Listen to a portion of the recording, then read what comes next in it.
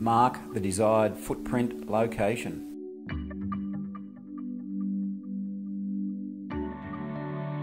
Sand the surface flat and level using 60 grit for adhesion. Ensure that bare steel or aluminium is exposed.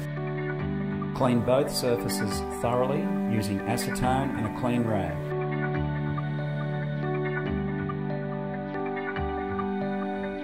Dispense equal parts of JB Weld epoxy onto a mixing board, then mix thoroughly.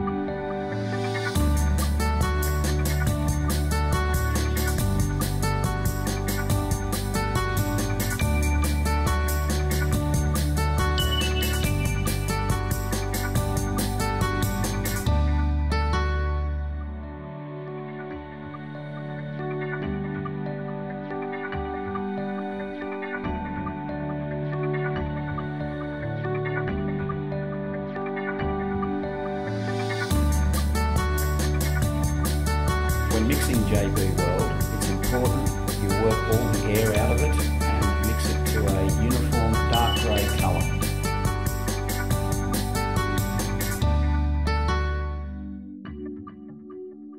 Apply large amounts of the mixed JB Weld onto the base of the footprint, ensuring that there is no air pockets.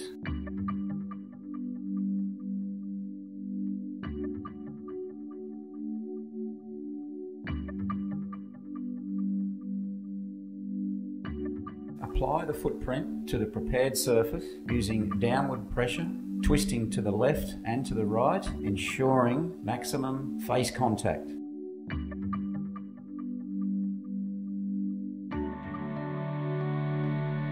Carefully clean the top face of the footprint, removing any JB Weld debris.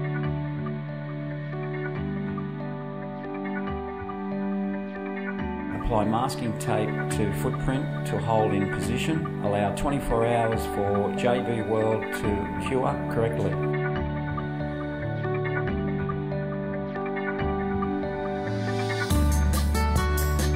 After curing, remove tape. Clean both surfaces thoroughly with acetone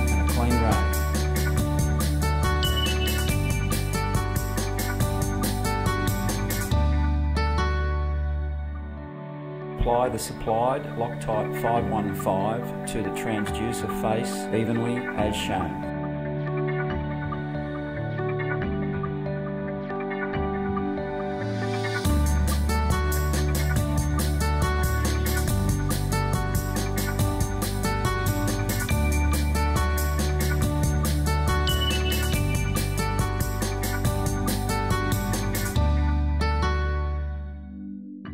Holding the cable in one hand and the transducer in the other, carefully screw the transducer onto the footprint as tightly as possible by hand, ensuring full face contact has been achieved.